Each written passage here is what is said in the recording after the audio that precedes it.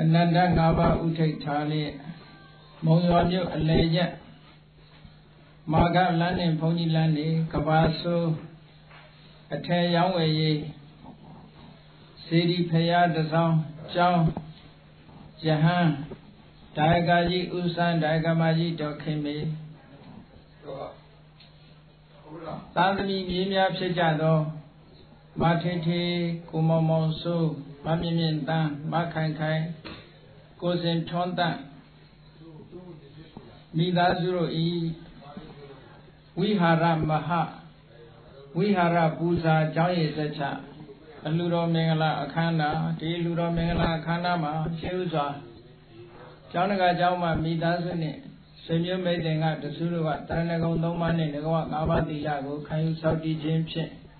အခမ်းအနားကိုစတင်ပြီးတဲ့နောက်မှာသံဃာတော်ရှင်များများကမေတ္တာဘာဝနာပွားသောအဖြစ်မေတ္တာတို့ပရိတရားတော်များကိုယူပွားချီးမြှင့်ကြမှာဖြစ်ပါတယ်ထို့နောက်မှာကျောင်းဆောက်လို့လူတန်းရခြင်းကျောင်းအနုမောဒနာတရားအနည်းငယ်နာကြားလို့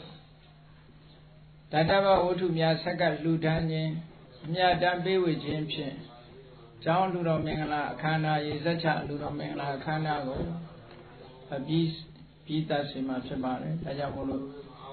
ကျွမ်းရှင်မြတ်တော်မူကြတဲ့သံဃာတော်ရှင်များများကယခုအခါမှာမေတ္တာဘာဝနာပွားသောအဖြစ်မေတ္တာတုတ်ပြိတရားတော်များရွပွားချီးမြှင့်ကြပါစို့ဗျာယတာလူဘာဝါတော်ယက္ခာနိဝဒတိတိပိသနံယမိစေဝနုယောသံတော်ရတိတိဝမတ္တန္တိတော် သုရတုတိသုတောသဗ္ဗပံတေသိတပတ္တိယေဝမာရိကုဏုပေတံပရိတံဓမ္မနာမဟေကရဏီယမတ္တကုသလေနယတတတံပဒံအဘိသမိသာသကောသုသတုသုသတဝေသောကုရုဏတိမာလိသတ္တသကောသတဝေရောသာပကိသောသတ္တလဟုကဝောတိ သန္တိတရိယောသနိဘကောသာအပကဘောကုလေသောနာတုလေတောသာသဂုဏမသရေကိစီဧနာဝေညုပရိဥပဝရေယောဒုတိနောဝါခေမိနောဟောတုသဗ္ဗတတ္တဘောလူသူကိတတ္တာယေကိစီပါဏဗုဒ္ဓတိတသဝါထာဝရဝန္တဝသေတာဤသာဝယေဝမန္တမစ္စည်းမရတကနုကတုလာ ဣဒာဝယေဝအရိဒာယေဝတုရေဝတံတိအဝိတုရေဣဒာဝတံဝေတိဝတဝတတ္တဘောလူသူကိတတ္တာနာပရောပရမိကောပိဒာနာတိမြေတာကတ္တစေနာကံတိသာရောသနာဝိယသေနနိညမိညတာဒုက္ခမေတိယမဟာတယရဏိယဗုဒ္ဓမာယုသာယကဗုဒ္ဓမနုရကေဧဝံပိသဝဗုဒေတုမန္တတံဘာဝေအပရိမာဏ မေတ္တိသတဝလောကသမိမန္တတံဘာဝေအပရိမာဏဘုရားတော်သာတိရေသာအတ္တပါရအဝေရမသပတ္တံသေယံသရဏိတေနောဝတယနောယဝတတဝိတမေတောဧတံသတေဒိဋ္ဌိယဗြဟ္မမေတံဝိရမိရမောသေယေသတိပကမ္မသီလဝါတတရိဏသမ္ပန္နောကာမေတုမိနိယလေဒနာဣဇာဒုက္ခဝတေယပုဏ္ဏရေတိ ပိတိပိသောဘဂဝါရံသမ္မာသမ္ဗုဒ္ဓောဝိသသရဏသမ္ပန္နောသေတောလောကဝိတုနောရောပုရိသဓမ္မသာရတိတတ္ထဒေဝဒုက္ခနာဘုံတော်ဘဂဝါဘာဂတောဘဂဝတာ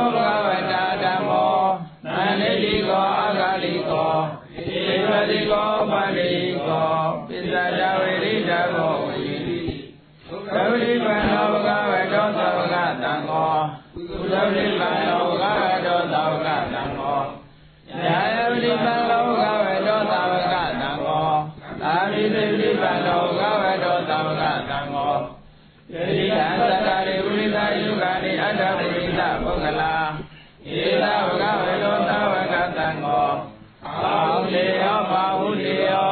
တကိနေယောဣသရိကရဏီယောအနောတရံဘုံညကေတံလောကတာဧဝဗုဒ္ဓံတဏ္ဍဓမ္မတံဣသမေကဝောဘေယဝသမိတတဝလောမဟတောနာဟိတိယံ တော်နိလေယဝမေလေသယောသမလာဘောသုတတတတောဘောရောတုပိဏအာဂတံဘုဒ္ဓနုနုဘာဝေနဥနာသမေတုယန္တိမိတံဝမေလေသာယောသမလာဘောတကုဏတသတောဘာဘေဟောတုပိဏအာကန္တဓမ္မာနုဘာဝေနဥနာသမေတုယန္တိမိတံဝ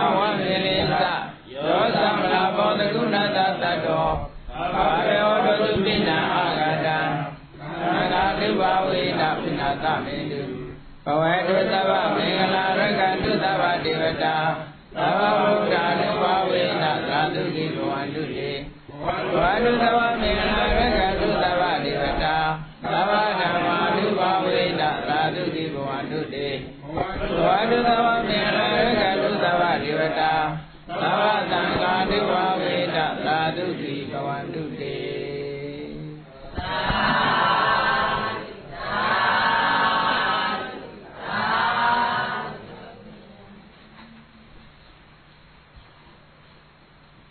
1382ခုနှစ်ဒုတိယဝါဆိုလာပြီကျော်10ရက်နေ့ပထမဝါဆိုလာပြီကျော်10ရက်နေ့မုံရွာမြို့တရမဇောတကသူဘောရယုံကျောင်းတိုက်အတွင်းဆောက်လုပ်လူဒန်းအပ်သည့်တတ္တမဂတိကကျောင်းဆောင်၌ဆင်ကျင်းပပြုလုပ်အပ်သည့်တတ္တမဂတိကကျောင်းဆောင်နှင့် ဓမ္မရန်တီမုံကိုရိပ်သာအတွင်းဆောက်လုပ်လူဒန်းအပ်သောဗရဏနာယကစံကြောင်းတော်တို့ကိုရေစက်သွန်းချ၍သရုဒ္ဓိတတန်ကအားလူဒန်းသည့်ဝိဟာရမဟာရေစက်ချကျောင်းရေစက်ချအလှတော်မင်္ဂလာအခမ်းအနာအနုမောဒနာတရားပထမဆုံးကျောင်းတကာကြီးဖြစ်တဲ့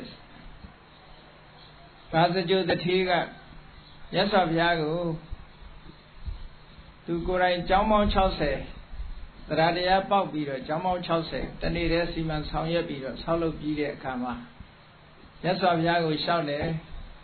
အရှင်ဘုရားတပည့်တော်ကျောင်းပေါင်း60ဆောက်လုပ်စေလို့ပြီးစီးပါပြီအဲ့ဒီကျောင်းတွေနဲ့ပတ်သက်ပြီးတပည့်တော်ဘာလုပ်ရမလဲဘယ်လိုစီမံဆောင်ရွက်ရမလဲဆိုတော့ရသော်ဘုရားကသာဒုရိတတံဃာ အာဂတနာဂတသာဒုရိတတံဃာမရောက်လာသေးတဲ့တန်ဃာဖြစ်စေကြွရောက်ပြီး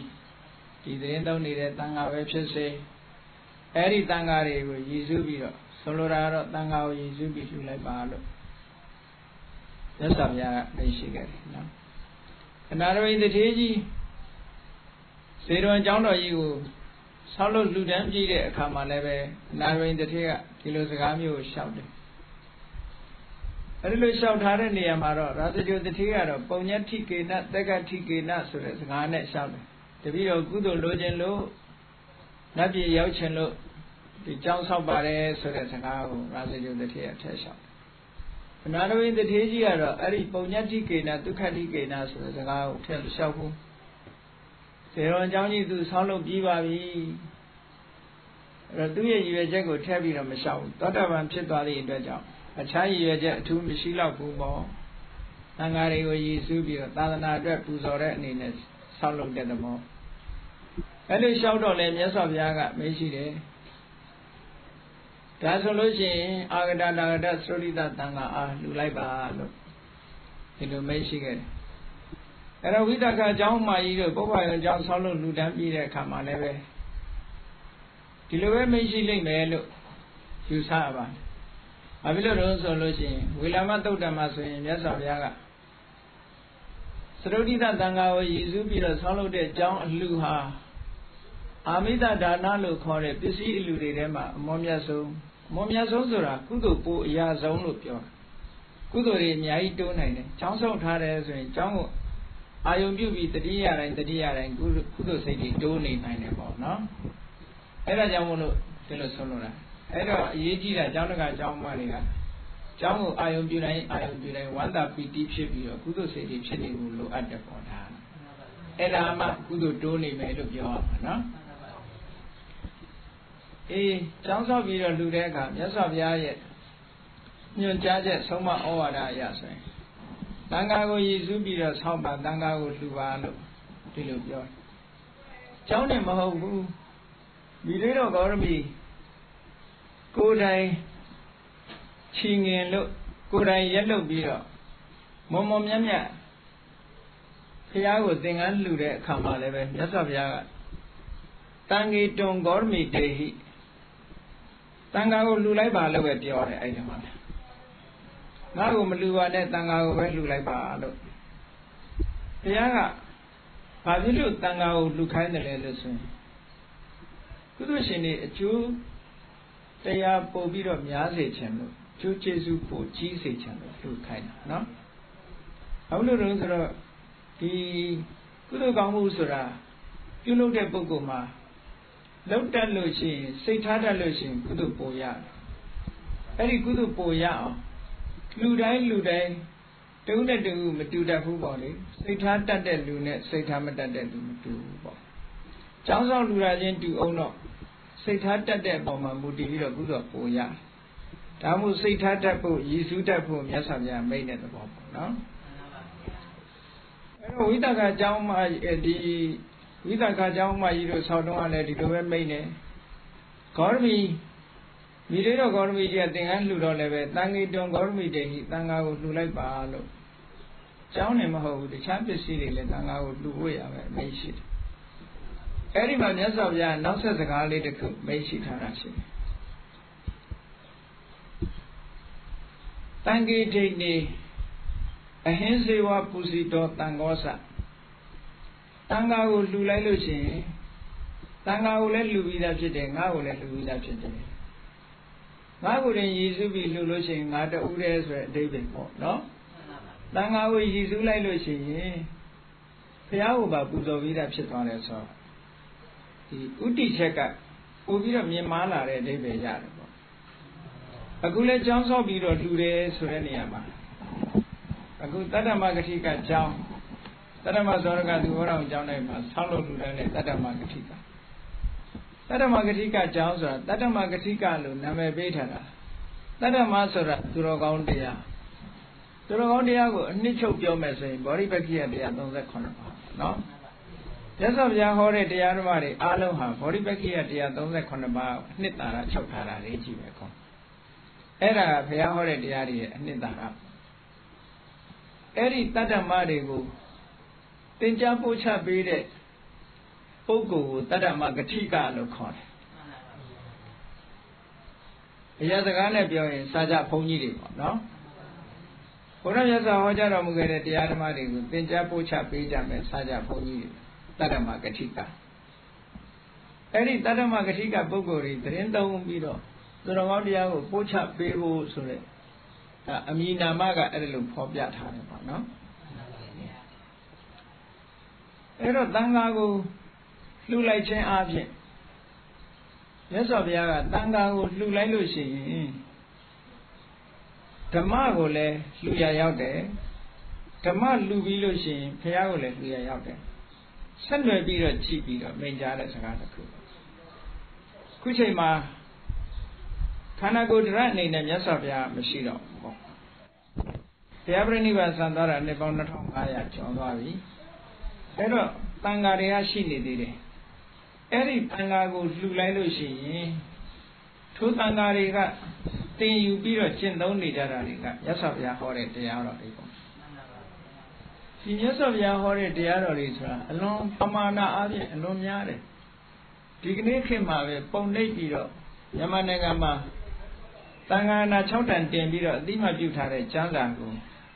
ပါဠိတော်အနေနဲ့အုပ်ရည်40ရှိတယ်တက်ကြည့်တော့တအုပ်တအုပ်မှာစာမျက်နှာ300ကျော်400ပတ်ဝန်းကျင်ပေါ့ချမ်းမြခြင်းအပြောမယ်ဆိုရင်300 300ကျော်လောက်ရှိတယ်ပေါ့အဲ့လိုအုပ်ရည်40 အဲ့ဒီပါဠိတော်တွေကိုဖွင့်ဆိုတဲ့အထက်ကရာက52အုပ်တီကာက26အုပ်ဆက်သွယ်ရဆက်သွယ်ရကျမ်းတွေတို့ပိဋကတ်တွေကိုနားလည်အောင်မြန်မာလိုပြန်ပြီးတော့ရေးထားတဲ့နေတရားကျမ်းတွေတို့မြန်မာပြန်ကျမ်းတွေတို့ဆိုပိဋကသုံးပုံဆိုတာဒုတယ်အမတန်မှကြီးတယ်အတိုင်းဝိုင်းနေနဲ့တွက်လိုက်လို့ဆိုရင်နော်မူရင်းပိဋကတယ်မယ်ဥယျ40လို့ဆိုတော့နဲတဲ့ဒုတယ်မဟုတ်ဘူးပေါ့ အဲ့ဒါလို့မြတ်စွာဘုရားတရားတော်တွေဟာနှစ်ပေါင်း2500ကြာအောင်ခနေ့အထိရှိနေတာဘယ်လိုလုပ်လို့ရှိနေတာလဲတမန်အချင်းပြောမယ်အေးကြောက်စာကြီးပေါ်မှာရေးထားလို့အဲကြောက်စာကြီးရှိနေလို့ရှိတာလားသို့မဟုတ်ဘယ်လိုလုပ်ပြီးတော့ဒီတရားတော်တွေဟာဒီကနေ့ထိအောင်လူသားတွေရဲ့လက်ထဲမှာရှိနေတုံးလို့ဆိုတာစာပေအနေနဲ့ရှိတယ်ဆိုတာစာအုပ်အနေနဲ့ရှိတာကိုပြောတာမဟုတ်ဘူး စာအုပ်အနေနဲ့ရှိတဲ့အတိပ္ပယ်မဖော်နိုင်ရင်လည်းကားပဲပေါ့ဥပမာရှေးအောင်ကထိုးထားတဲ့ကြောက်စာကြီးရှိတယ်ဘယ်သူမှမဖတ်တတ်ဘူးဆိုပါစို့ပြူလိုရေးထားတာရှိတယ်အဲ့လိုပြူလိုရေးထားတာကိုမဖော်တတ်လို့ရှိရင်ဘာရေးထားမှမသိဘူးအခရာတော့မြင်မှာပေါ့မြတ်စွာဘုရားတရားတော်တွေကလည်းသင်ကြားမှုမရှိဘူးဆိုလို့ရှိရင်ဘာမှဖတ်တတ်ပြီးအိဗယ်ဖော်နိုင်မှာမဟုတ်ဘူးပေါ့နော်အဲ့ဒါလို့မဟုတ်ရအောင် ဒီပိဋကတ်တော်တွေစာပေအနေနဲ့လည်းရှိတယ်အတိပယ်အနေနဲ့လည်းဖော်ဆောင်နိုင်တယ်အများအားလည်းစာပေပိဋကတ်တွေဟာရှင်းတန်းနေတယ်လူတွေရဲ့နှုတ်တန်ဃာတွေရဲ့နှုတ်ကနေလူတွေရဲ့နှုတ်ထဲလူတွေရဲ့နှလုံးသားထဲဟာဒီတရားတော်တွေဟာလွင့်ပြန်ပြီးတော့နေတယ်ငြိမ်ဝတ်နေတာမဟုတ်ဘူးကုလူဆက်ဆံပြီးတော့လူတွေသိနေကြတယ်ဆိုပါစို့ဒီအရာထဲမှာပြန့်ပွားနေတဲ့ အလုံးလောက်နီးနီးဗုဒ္ဓဘာသာဝင်တွေသိတယ်မင်္ဂလာတုတ်တို့မေတ္တာတုတ်တို့တော်တော်များများရနေကြတာပဲနော်အဲ့ဒီလိုနှုတ်ထဲမှာတက်ပြီးတော့အတိပ္ပယ်သိနေလောက်ဒီတရားတော်တွေဟာရှင်သန်နေတာဘသူကြောင့်ရှင်သန်နေတာလဲဦးလို့ဆိုဒီတန်ဃာတွေကြောင့်ရှင်သန်နေအကယ်၍တန်ဃာတွေကသင်ယူခြင်းတဆင့်ပို့ချခြင်းမလုပ်ဘူးဆိုလို့ရှိရင်ဒီတရားတော်တွေကပျောက်ကွယ်သွားမှသိချတယ်စာအနေနဲ့ဘလောက်ကြေးပေါ်ရေးထားလို့ ကြေးပရပိုက်တွေနဲ့ရေးထားလို့သို့မဟုတ်ကြောက်စာတွေပေါ်မှာတင်ထားလို့စာအနေနဲ့ကြံအောင်အဓိပ္ပာယ်ဘယ်သူမှသိမှာမဟုတ်ဒီကနေ့ကတော့အဲ့လိုလိုမဟုတ်ဘူးအားလုံးမြန်မာနိုင်ငံမှာစာတတ်ဆရာတော်ကြီးတွေရှိသည့်အတွက်ကြောင့်တည်ယူပို့ချနေကြတာလဲနေ့စဉ်နဲ့အမျှစာသင်တဲ့ကြီးတွေမှာရှိတာဖြစ်သည့်အတွက်ကြောင့်ဘယ်စာပဲဖြစ်ဖြစ်အတိပ္ပယ်မသိဘူးဆိုတဲ့စာမရှိဘူးပေါ့အလုံးဟာဘုရားဟောတဲ့တရားတော်တွေဟာရှင်သန်နေတယ်လို့ပြောရ ဓမ္မခန္ဓာပေါင်းရှင်သောင်းလေးတော်ရှင်သန်နေတာဘယ်သူတွေရဲ့စွမ်းဆောင်မှုလဲလို့မေးမယ်ဆိုရင်တန်ဃာတွေရဲ့ခြေဆုလို့ပြောဒါကြောင့်မလို့မြတ်စွာဘုရားကိုယ်တိုင်ကလည်းအေးပိဋကတ်တော်တွေကိုထိမ့်မဲ့တန်ဃာတွေလှူပါလို့ပြောတာလည်းဖြစ်နိုင်တယ်ပေါ့ဒါကြောင့်မို့တန်ဃာတွေကိုဘုရားမရှိတဲ့နောက်မှာတန်ဃာကဥဆောင်လာတာဖြစ်တယ် မြတ်စွာဘုရားပြိဋိဘံဆန်တဲ့အခါမှာမဆန်ခင်ကနေပြီးတော့ဘုရားကိုယ်စားခေါင်းဆောင်ခန့်ခဲ့တာမရှိဘူးတခြားအဖွဲ့အစည်းတွေဆိုလို့ရှိရင်ခေါင်းဆောင်ဆိုတာရှိတယ်လေခေါင်းဆောင်ကြီးမရှိတဲ့အခါနောက်ထပ်ဒုတိယခေါင်းဆောင်ပဲပုဂ္ဂိုလ်ဆက်ခံပဲပုဂ္ဂိုလ်ရှိသာသနာမှာအဲ့လိုခေါင်းဆောင်မရှိဘူးမြတ်စွာဘုရားကခံထားခဲ့တာမရှိဘူးအဲ့ဒါနဲ့ပတ်သက်ပြီးတော့ဒီခေါပကမောက်ကလာနာဆိုပုံနာကြီးက ရှန္ဒနာကိုမေးတယ်ရှန္ဒနာအဲ့မှာဘုရားပြိဋိဘံဆံပြီးတဲ့အချိန်မှာရှန္ဒနာအဲ့ဒီရောက်သွားသူ့လုပ်ငန်းခွင်ရောက်သွားတဲ့အခါကျမေးတယ်ရှင်ဂေါရမပြိဋိဘံဆံသွားပြီဆိုတော့တဲ့အရှင်ဂေါရမကငါမရှိရင်တန်ဃာတွေကိုအုပ်ချုပ်ဖို့ဆိုပြီးတော့ခေါင်းဆောင်ခန့်ခဲ့တာရှိသလားလို့ဒီလိုမေးတယ်နော်ဒါလည်းမေးတယ်မေးလိုက်တဲ့မေးခွန်းရှန္ဒနာကမရှိပါဘူးလို့ပြောခေါင်းဆောင်မရှိပါဘူးခန့်ခဲ့တဲ့ခေါင်းဆောင်မရှိဘာ လို့မရှိတာတော့ဆိုတော့ဘုရားနဲ့ထတ်တူထမ်းမြအရေးချင်းရှိတဲ့ပုဂ္ဂိုလ်ပြောရတယ်မရှိနိုင်ဘူးလေတကားရှန္ဒနာကိုဆက်မေးတယ်အဲမြတ်စွာဘုရားကမခန့်ခဲ့ဘူးဆိုရင်တန်ဃာတွေကသဘောတူပြီးတော့ခေါင်းဆောင်လို့တင်မြောက်တာရောရှိသလားလို့ဆိုမရှိဘူးအဲ့ဒီလိုမရှိလို့ရှိရင်ရှင်ဘုရားတို့မှာခေါင်းဆောင်မရှိဘူးပေါ့ဥဆောင်မဲ့ပုဂ္ဂိုလ်မရှိဘူးလားဆိုအဲအဲ့ဒီလိုမဟုတ်ပါဘူးတဲ့တို့မှာဥဆောင်တဲ့ပုဂ္ဂိုလ်ရှိတယ် ဥဆောင်တဲ့ပုဂ္ဂိုလ်ဆိုတာဘယ်သူလဲဆိုရင်ဒီတတ္ထမပဲတရားတော်တွေကဥဆောင်တယ်တို့အဲ့တော့မြတ်စွာဘုရားကတရားတော်ကိုဘုရားရဲ့ကိုယ်စားခေါင်းဆောင်ခန့်ခဲ့တယ်လို့ပြောလို့ရတယ်အဲ့တော့ဘလောက်ထင်ရှားတော့ဆိုပြိဋိဘံသံဃာနီးမှာမြတ်စွာဘုရားကဘသူကိုလေးစားရမယ်ဆိုတာကိုညွှန်ကြားခဲ့တယ်ရှင်အာနန္ဒာယောအာနန္ဒမယဓမ္မောသဒေတိတောသ ဝိနယောဓမ္မောသဝိနယောသဒေတိတောပညာတော်သောမမစ္စေနတတ္ထာအဲ့ဒီစကားဟာအမှန်တမ်းအဓိပ္ပာယ်ရှိတဲ့စကားမြတ်စွာဘုရားကတရားကိုပဲခေါင်းဆောင်ထားခဲ့တဲ့သဘောနော်ငါဟောခဲ့တဲ့ဓမ္မငါပြညတ်ခဲ့တဲ့ဝိနည်းငါမရှိလို့ရှိရင်မင်းတို့ရဲ့ဆရာပဲလို့ဆိုတရားကိုပဲကောင်းဆောင်ခံခဲ့တာဘုရားကနော်တရားတိုင်းနေကြလို့ဒီလိုဆုံးလို့ရပေါ့ ဘုရားပြည့်ပြည့်စုံစုံဟောထားပြီးပြီခြံချင်းမရှိအာသရိယမုဋ္ဌိမထားပဲနဲ့ကျွမ်းကြံမရှိပြည့်ပြည့်စုံစုံဟောထားတယ်အဲ့ဒီတရားဓမ္မတွေတိုင်းလိုက်နာလို့ရှိရင်ပြည့်ပြည့်စုံနေပြီဒါကြောင့်မို့ပုဂ္ဂိုလ်တဦးတယောက်ကခေါင်းဆောင်စရာမလိုတော့ဘူးလို့ဒီလိုပြောတာနော်အဲ့ဒါကိုကြည့်ပြီးတော့နောက်ပိုင်းမှာတန်ဃာတွေကနေပြီးတော့ဒီဓမ္မတွေကိုထိမ့်သိမ့်ဆောက်ရှောက်တယ်ဆိုတဲ့တာဝန်ဟာအမြဲတမ်းအရေးကြီးတဲ့တာဝန်တစ်ခုဖြစ်လာတယ်ဟော အဲရသော်ဗျာမိန်ကြားချက်အရာဒီကနေ့ထိအောင်တန်ဃာတွေဟာပိဋကတ်30နိကေ9ပြတစ်ဖက်ခန္ဓာပေါင်း7400တော့မပြောင်းမပြည့်အောင်ထိမ့်သိမ့်ဆောက်ရှောက်လာကြတာတဲ့ဒါကြောင့်မို့လို့တီဃာဆရာကြီးတွေကမှတ်ချက်ရေးထားတာရှိတယ်ဘဂဝေတောအပရဘာကေဗုဒ္ဓဓမ္မရတနာနံသမတိကမောတန်ခရတနာဒီနောတဲ့မြတ်စွာဘုရားမရှိတဲ့နောက်ပိုင်းမှာတဲ့ ဗုဒ္ဓယေရနာဓမ္မယေရနာတို့ကိုသိရှိခွင့်ရတာဟာတန်ခယေရနာကြောင့်ပါတဲ့ဟောတန်ခါရှိနေလို့ဒါတွေသိခွင့်ရတယ်လို့ဆိုအဲ့တော့တန်ခါကိုလှူလိုက်တာနဲ့ဆိုလိုတာကတန်ခါကိုလှူလိုက်လို့ရှိရင်ဓမ္မကိုလည်းပူဇော်ပြီးသားဖြစ်သွားတယ်ဗုဒ္ဓကိုလည်းပူဇော်ပြီးသားဖြစ်သွားတယ်ဗုဒ္ဓကိုပူဇော်ရုံနဲ့တန်ခါကိုပူဇော်ပြီးသားဖြစ်ချင်မှဖြစ်မယ်ပေါ့ဓမ္မကိုပူဇော်ပြီးသားဖြစ်ချင်မှဖြစ်မယ်ပေါ့ဘုရားကိုပူဇော်ရင်ဘုရားကိုပဲပူဇော်ရရောက်မယ် တရားကိုပူဇော်ရင်တရားကိုပဲပူဇော်ရမယ်တန်ခါကိုပူဇော်ရင်ယရဏသုံးပါးလုံးပူဇော်ပြီးသားဖြစ်သွားတယ်ဒီအဓိပ္ပာယ်ကိုဆိုလိုတာဟုတ်ကဲ့ဒါကြောင့်တန်ခါလှူလိုက်ရင်တရားကိုလည်းလှူပြီးသားဖြစ်သွားတယ်ဘုရားကိုလည်းလှူပြီးသားဖြစ်သွားတယ်လို့ဆိုတာဘာဖြစ်လို့ဒီလိုပြောလို့ရသလဲကြိုးကြောင်ဆက်နွယ်မှုရှိရလားလို့ကြည့်တော့အေးတန်ဃာတစ်ပါးဒီပေါ်မှာသတင်းသုံးပြီလို့ဆိုလိုက်လို့ရှိရင်ထိုတန်ဃာရဲ့တဏ္ဍာမှာကိန်းတဲ့တရားပါလာပြီ သူ့ရဲ့နှလုံးသားမှာတရားရှိတယ်ပေါ့နော်သူကနေတဆင်ဟောပြောပို့ချပေးမယ်ဘုရားရဲ့တရားတော်တွေကိုသူကျက်မှတ်ထားတယ်သင်ယူထားတယ်လေ့လာထားတယ်အားထုတ်ထားအဲ့တန်ဃာရောက်လာတာနဲ့တပြိုင်နက်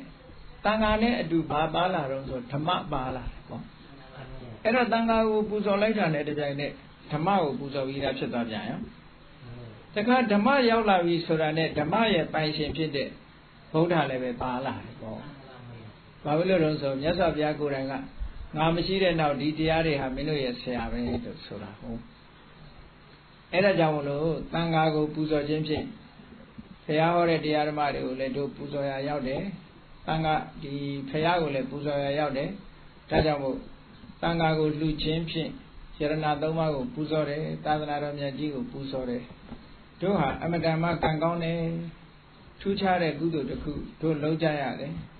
သာသနာ့ဘာအခါမှာဆိုလို့ရှိရင်တန်ခါကိုပူဇော်ခွင့်မရကြဘူးမရသည့်အတွက်ကြောင့်တရားကိုလည်းပူဇော်ခွင့်မရဘူးဖះကိုလည်းပူဇော်ခွင့်မရဘူးကုသိုလ်ကောင်းမှုတော့ပြုခွင့်ရတာပေါ့နော်ကုသိုလ်ဟာတာမန်ကုသိုလ်ပဲဖြစ်မယ်တို့ဒီကနေ့ပြီးရတဲ့ကုသိုလ်ဟာတာမန်ကုသိုလ်မဟုတ်ဘူးအခု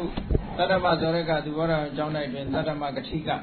ကျောင်းဆောင်ကြီးကိုဆောက်လို့လူထမ်းရခြင်းဖြင့်ဘုရားဓမ္မတန်ခါလို့ဆိုရင်ယရဏသုံးပါးရဲ့အကျိုးတို့ဆောင်ရွက်ရတယ်ပူဇော်ရတယ်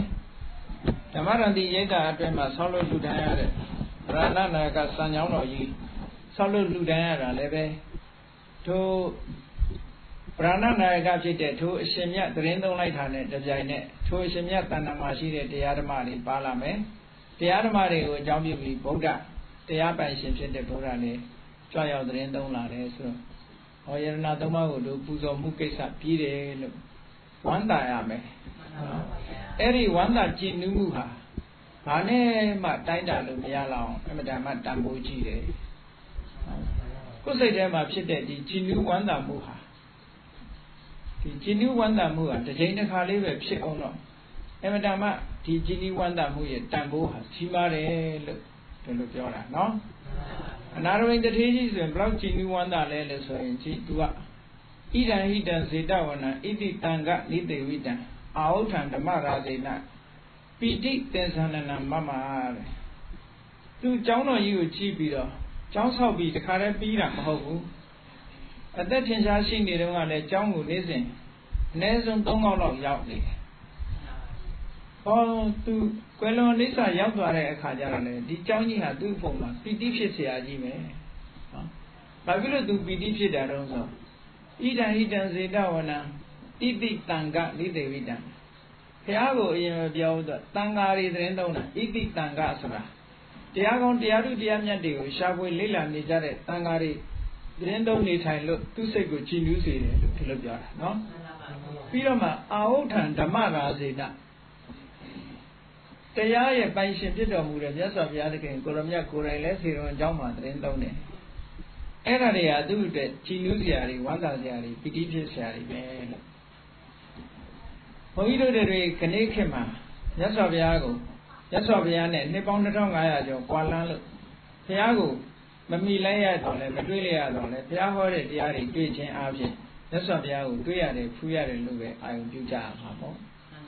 အဲ့တော့ဘုရားကိုအာယုံပြုပြီးတော့တို့လှူမဲ့ဆိုရင်အနာရဝိတထေကြီးရဲ့ယင်ထဲမှာဖြစ်ပွားတဲ့ပီတိမျိုးတို့တွေဖြစ်အောင်ကြိုးစားကြရမယ်နော်အေးဒါကြောင့်ကိုကျောင်းတကာကျောင်းအမတွေကနာရဝိတထေကြီးလို့ စိတ်ထဲမှာကြည်နူးဝမ်းသာမှုဖြစ်အောင်တို့လူတာပုဂ္ဂိုလ်လူတာမဟုတ်ဘူးတန်ခါကိုလူတာတန်ခါကိုလူချင်းဖြင့်တရားကိုလည်းတို့ပူဇော်တယ်တရားကိုပူဇော်ခြင်းဖြင့်ဘုရားကိုလည်းပူဇော်ပြီးသားဖြစ်တယ်ဘုရားတရားတန်ခါရမသုံးပါးကိုပူဇော်တဲ့ဒီနေ့ချောင်းဆောင်ကြီးကိုဆောလို့လူတိုင်းရပြီပြီလို့အတ္တတဆုံးပိဋိရင်မှာထိပြီးတော့ဝန္တာကြည်နူးမှုတွေဖြင့်နော် ဘဝခရီးကိုရှောင်လန်းနိုင်ကြပါစေကုန်သတည်း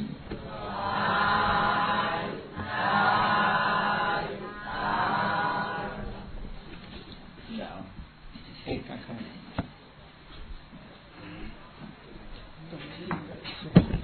ီမှာဒီတတ္တမဂရိကကျောင်းဆောင်နဲ့ဗရဏနာယကစံကျောင်းဒီသက်ချလူတော်မင်္ဂလာခန္ဓာမှာပင့်တန်ကတော့15ပါးတဲ့ကဲကြိုက်အောင်နော် တပားလင်သင်္ကန်းတွိဆုံသုံးစီဘုထုငွေအဲတသိန်းကျပ်စီဟုတ်ကဲ့လားတသိန်းအားလုံးမှာတသိန်းတပတ်တသိန်းအေးဝတ္ထုငွေတသိန်းကျပ်စီနောက်ပြီးတော့အဖဥအာမဥခိမောင်တင်ဒေါ်ထေးထေးမိသားစုကတပားနဲ့အတောင်းကျပ်စီကျောင်းတဲ့ခဏတရံစီခေါင်းအောင် ပါရင်ခေါင်းကခဏလုံးစီနှလုံးစီခေါင်းတစ်လုံးစီအဲ့ဒါတွေကိုတူတန်းတယ်တဲ့နော်အရုံစမ်းနေသာဆက်တတ်လိုက်ကြ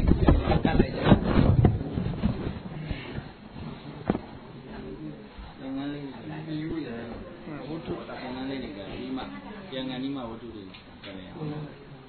သင်္ကန်းလေးတွေကသတိကလိုက်ပေါ့ပြီးတော့ထားတော့တစ်ခါကတ်လိုက်နော်အဲ့ဒါလှုပ်လိုက်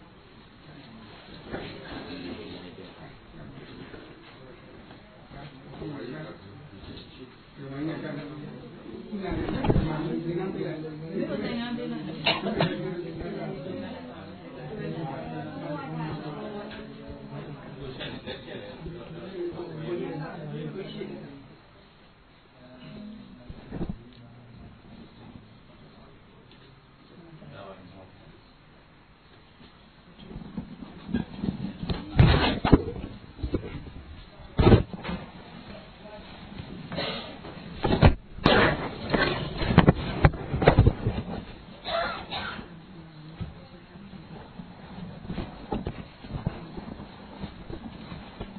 ကျောင်းနှစ်ကျောင်းကိုအာရုံပြုထားနော်အကျောင်းကလေးတတ္တမဇောရကသူမောရယကျောင်းတိုက်လိုက်တတ္တမကတိကကျောင်းဆောင်ဓမ္မရတိဧကကျောင်း၌ပရဏဆံကျောင်းအဲကျောင်းတစ်ကျောင်းကိုသင်္တန်ကတော့အပါ15ပါးတို့ရဲ့မျက်မှောက်ပါတန်ခါဌာနတန်ခိကသရုဒ္ဓိတသံဃာအားသာသနာတော်ကိုပူဇော်သောအဖြစ်ရှင်းသက်ချပူထားမယ်နော်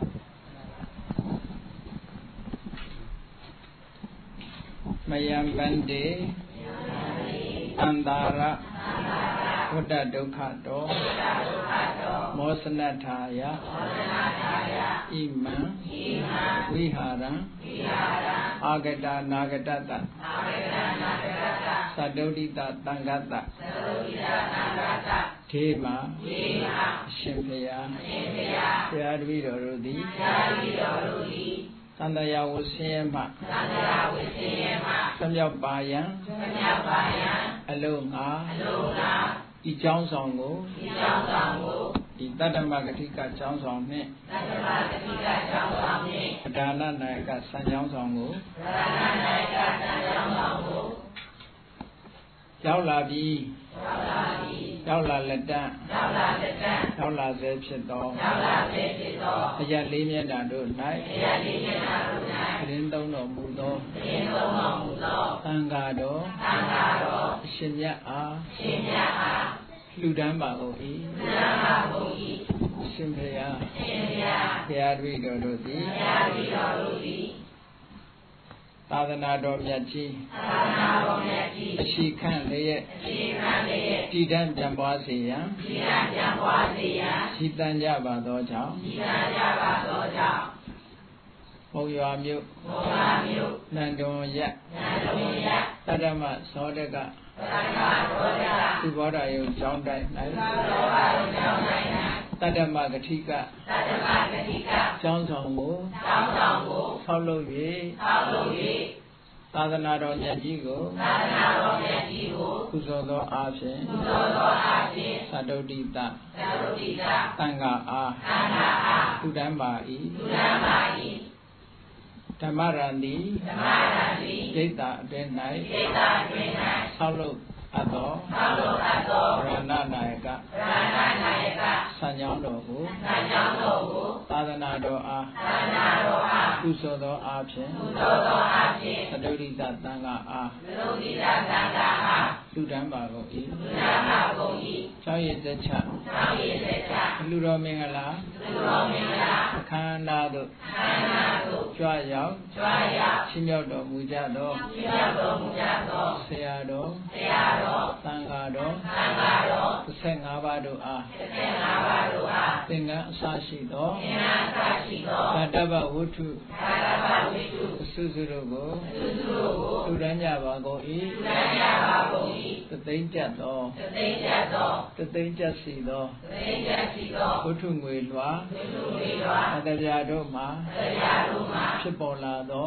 ဖြစ်ပေါ်လာသောအစရာအစရာပစ္စည်းလေးပါးကိုပစ္စည်းလေးပါးကိုလူတန်းကြပါကုန်၏သူရကြပါကုန်၏ညတောင်းကြစီသောသတောင်းကြရှိသောဝတ္ထုငွေလွှာဝိတုဝိတော်အတ္တရာတို့မှာတရားတို့မှာဖြစ်ပေါ်လာသောဖြစ်ပေါ်လာသောပစ္စည်းလေးပါးကိုပစ္စည်းလေးပါးကိုလူတန်းကြပါကုန်၏သူရကြပါကုန်၏ဒီကျောင်းတိုင်းဒီကြောင့်တိုင်း၌သတင်းသုံးကြသော၌သင်သုံးရသောသံဃာတော်သံဃာတော်အပါ40ကျော်တို့အားပါဠိစေတော်တို့အားဝိနတ်ကောင်းအောင် ဉာဏ်တော်ကိုအစရှိသောသာရှိသောသုံးဆောင်ပစ္စည်းတို့ကိုသုံးတော်ပစ္စည်းတို့ကိုလူတန်းကြပါကုန်၏ဉာဏ်ကြပါကုန်၏သံဃာတော်သံဃာတော်ရှင်မြတ်တို့အားရှင်မြတ်တို့အားအာရုံစွမ်းအာယုံစွမ်းနေစွမ်းနေစွမ်းဆက်ကပ်ကြပါကုန်၏သက္ကကြပါကုန်၏မိတ်ဆွေသင်္ကားအပေါင်းသေသေသင်္နာအောင်သူတော်ကောင်းတို့အားလည်းသောကောင်းစွာလေခမင်းခဲွယ်မြင်သေးဝေ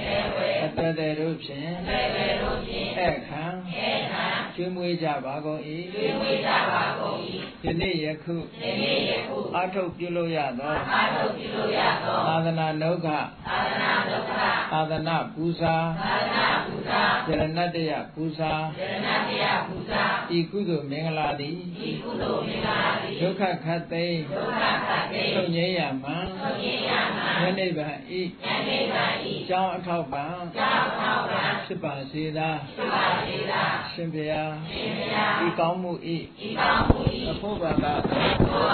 ကိုအမိအခအနိယခအဖို့အဖွာဘုရားဆရာသမားမှစပြီးသာသမာမသာကဘာသူကဘာသာ၍ဘာသူဘာသာလူလက်ပြမလူမြတ်ပြမတတ္တဝအများတို့အားသတ္တဝါများတို့အားအမြအများမြတ်မြတ်ဝိငှပါကုန်၏ဝိနာပါကုန်၏ပထူအဖြင့်သူအားဖြင့်အိမ်ဆောင်နတ်ဣန္ဒာန ဆိုင်ဆောင်နတ်အသောနရိုးဆောင်နတ်ယုသောနတောဆောင်နတ်သောသောနတောင်ဆောင်နတ်သောသောနသာသနာတော်ဆောင်နတ်သာနာတော်သောန